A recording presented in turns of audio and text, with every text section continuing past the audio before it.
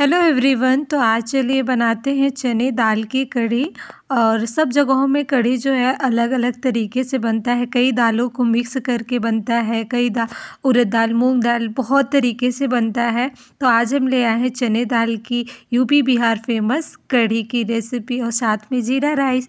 तो चलिए फिर देख लेते हैं बनाना कैसे है। तो यहाँ पर हमने चने को ओवरनाइट भिगो दिया था। अभी सुबह ही बनाना था। तो हमने यहाँ पर भिगो दिया था चना। चना हमारा फूल गया है। तो क्वांटिटी आप फैमिली के हिसाब से कम या ज़्यादा रख सकते हैं। फिर चने दाल को हमें करना क्या है? मिक्सी के जार में इस तरह से बढ़िया से धो लें, फिर मिक्सी के जार में इस तरह से ट्रांसफ़र कर देंगे। फिर उसके बाद यहाँ पर एक हमने हरी मिर्च कट करके ले लिया इस तरह से। थोड़ा सा यहाँ पर हम ऐड कर देंगे अदरक। आप यहाँ पर लहसुन भी ऐड कर सकते हैं, थोड़ा सा ज़ीरा भी डाल सकते हैं। तो यहाँ पर थोड़ा सा पानी डाल करके हम इसे पीस लेंगे। बहुत ज़्यादा पानी नहीं डालेंगे। थोड़ा सा ही डालेंगे ताकि अच्छे से पिस जाए। हमें इसे दरदरा पीस लेना है। तो देखिए, इसको हमने इस तरह से पीस लिया है। अब हमें क्या करना है? यहाँ पर हम लेंगे थाली, आप कोई बाउल्स ले लें। उसमें हम सारे ये जो हमने चने को पीसा है, बस वो डाल देंगे। अब हमें क्या करना है, यहाँ पर हमने ले लिया है एक बाउल में घर की फ्रेश खट्टी वाली दही लिया है हमने।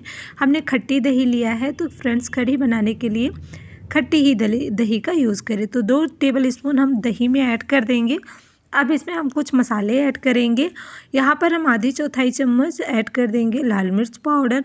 इसी के साथ हम डाल देंगे आधी चौथाई चम्मच हल्दी पाउडर। इसी के साथ यहाँ पर हम ऐड कर देंगे आधी चम्मच हमने यहाँ पे ले लिया है धनिया पाउडर। साथ में यहाँ पे हम किचन किंग मसाला डाल देंगे आधी चम्मच। फिर इसी के साथ यहाँ पर हम ऐड कर देंगे और फिर अच्छे से मिक्स कर लेंगे। तो हमें बढ़िया से इसको फेंट लेना है। आप मिक्सर से इसको फेंट सकते हैं या फिर आप चम्मच से इसे एक से दो मिनट तक बढ़िया से हमें इसे फेंट लेना है। इसमें लम्स वगैरह, गुठलियाँ वगैरह नहीं होना चाहिए। तो इस तरह से दही को हमें सारे मसाले को साथ फेंट लेना फ्रेंड्स, ये रेसिपी बहुत अच्छी लगती है। और हमारे यहाँ कोई फेस्टिवल होता है या फिर कोई शादी वगैरह होता है तो कड़ी जो होता है, शुभ मानी जाती है। तो हमारे यूपी में इस तरह से कड़ी कोई भी चीज़ें हों बनती ही बनती है। तो इस तरह से इजी से सिंपल से आप बना सकते हैं। तो यहाँ पर फेंटने के बाद हमने डेढ़ ग्लास पानी डाल दिया है। पानी खूब अच्छे से ऐड कर दें। तो देखिए, पानी डाल करके हमें इस तरह से बढ़िया से मिक्स कर लेना है। तो मिक्स हमारा रेडी हो गया है। ये देखिए, आप कोई बड़ा ही बर्तन ले। अब इसे हम क्या करेंगे? रख देते हैं साइड में, फिर चलिए दूसरी तैयारी करते हैं। तो अभी हमें क्या करना है? ये चने जो हमने पीस करके रेडी किया था, उसमें हम ऐड करेंगे बेसन थोड़ा सा ही, करीब एक टेबल स्पून भर के। और ऐड करना है, इसे बाइंडी भी अच्छा लगेगा और जो पकौड़ी हमारी है फूली फूली रहेंगी। तो अब हमें क्या करना है? यहाँ पे कुछ मसाले ऐड करना है, जैसे आधी चौथाई चम्मच हमने डाल दिया है। हल्दी पाउडर कलर के लिए आधी चौथाई चम्मच लाल मिर्च पाउडर डाल दिया है। इसी के साथ यहाँ पर हम ऐड कर देंगे एक चम्मच किचन किंग मसाला अगर आपके पास किचन किंग मसाला नहीं है तो आप नॉर्मल सब्ज़ी मसाला भी डाल सकते हैं। साथ में यहाँ पे धनिया पाउडर ऐड कर देंगे। इसी के साथ हम ऐड कर देंगे यहाँ पे थोड़ा सा चाट मसाला चटपटा के लिए। हींग डाल देंगे। हींग का फ्लेवर बहुत ज़्यादा अच्छा लगता है। फिर इसके साथ यहाँ पे डाल देंगे थोड़ा सा हम अमचूर पाउडर। आप अगर ज़्यादा तीखा खाना पसंद करते हैं तो ये लाल मिर्च इस तरह से कट कट के डाल दें। लाल मिर्च का इसमें स्वाद बहुत ही अच्छा लगता है। लाल मिर्च के बिना पकौड़ी जो है अधूरी रहती है। आप हरी मिर्च भी डाल सकते हैं, अगर आपके पास लाल मिर्च नहीं है। धनिया पत्ती डाल करके हमें बढ़िया से इसे मिक्स कर लेना है। तो इसे हम अच्छे से फेंट लेंगे करीब पाँच मिनट तक, ताकि जो हमारा ये बैटर है अच्छे से फ्लफी सा हो जाए। जितना अच्छा फेटे रहेंगे ना, जो जो पकौड़ियाँ हमारी अच्छे से फूली फूली रहेंगी और सॉफ्ट रहेंगी। तो इस बात का ध्यान रखें।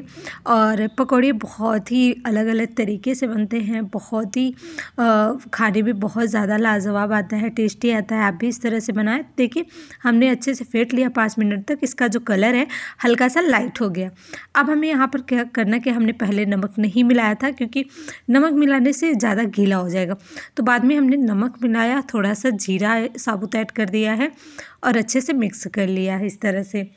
जीरा साबुत डाल दिए या फिर आपके पास भुना हुआ जीरा है तो वो भी डाल सकते हैं। तो अब हमें क्या करना है, चलिए इसकी हम पकौड़ियाँ बना लेते हैं।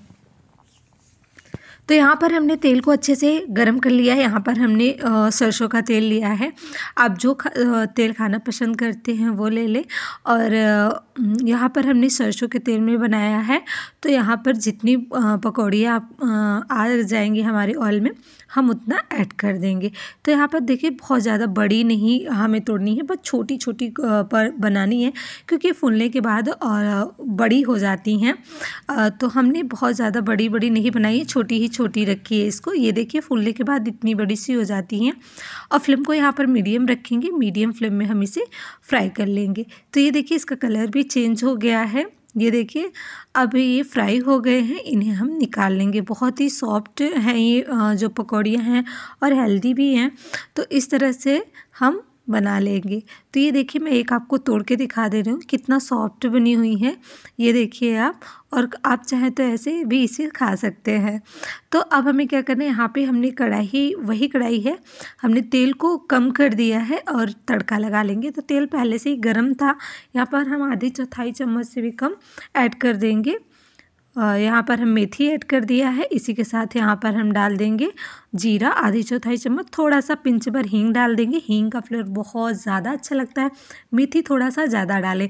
फिर उसके बाद यहाँ पर करी पत्ता डाल देंगे। करी पत्ते के बहुत ज़्यादा फ़ायदेमंद हैं बहुत ज़्यादा फ़ायदे हैं और खाना भी चाहिए। तो इसके बाद यहाँ पर हम यहाँ पर कटी हुई हरी मिर्च ऐड कर दिया है, साथ में लहसुन ऐड कर दिया है। लहसुन आप स्किप भी कर सकते हैं। सभी चीज़ों को बहुत अच्छे से भून लेंगे। उसके बाद हमने जो घोल तैयार किया था ना, बस वो डाल देंगे।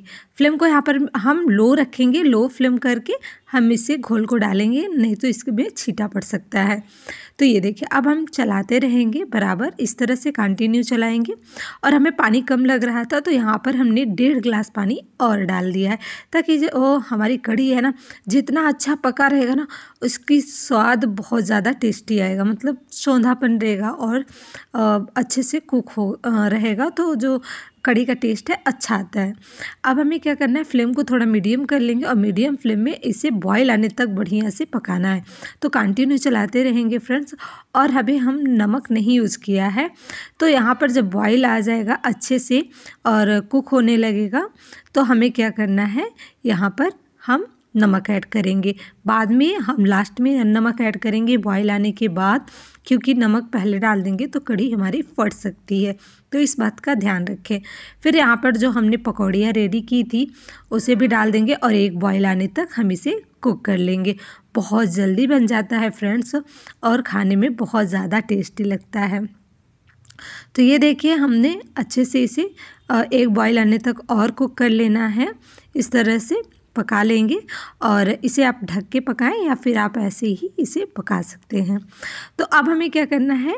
फ्लेम को ऑफ़ कर देंगे। देखिए, जो हमारी पकौड़ियाँ हैं, फूल गई हैं, बहुत ज़्यादा और कुक नहीं करेंगे, नहीं तो जो पकौड़ियाँ हैं, बहुत ज़्यादा सॉफ्ट होती हैं, वो टूटने का डर रहता है। तो अब हम क्या करेंगे? तड़का तैयार कर लेंगे। तड़के के लिए यहाँ पर हमने तड़का पैन में थोड़ा सा ऑयल डाला है और रॉयल ऐड कर दिया है, थोड़ा, और लाल मिर्च ऐड कर दिया है और कलर के लिए कसूरी लाल मिर्च डाल दिया है। बस तड़का हमें बहुत ज़्यादा मैंने कुछ इसमें नहीं यू ऐड किया है और फटाफट इसमें गर्मा, ही गर्म तड़का लगा देंगे और आप बिना तड़के के भी इसे खा सकते हैं। वैसे भी ये चटपटा सा है। तो अब हम क्या करेंगे, तड़का लगाने के बाद इसे चला लेंगे। तो आप इसका लुक देखिए, टेक्सचर देखिए, कोई कह नहीं पाएगा कि आपने इसे दाल से बनाया है। और सुपर सॉफ्ट इसकी पकौड़ियाँ बनी हुई हैं। बहुत ही अच्छी और ये राइस के साथ बहुत अच्छा लगेगा। इसे जीरा राइस के साथ आप खाएँ, इसका टेस्ट ही अलग ही आएगा। तो ये चटपटी सी हमारी जो कढ़ी है बन के तैयार हो गई है। मैं टिफ़िन के लिए दी हूँ। आप भी इस तरह से सर्व करें। साथ में हमने जीरा राइस रखा है। थोड़ी सी पकौड़ियाँ मैंने आलू की इस तरह से बना लिया था और सैलड। तो आपको मेरी ये वीडियो कैसी लगी, अच्छी लगी हो तो लाइक से सब्सक्राइब करिएगा। मिलते हैं ऐसे एक नई वीडियो के साथ। तब तक के लिए अपना ख्याल रखिए। हर हर महादेव।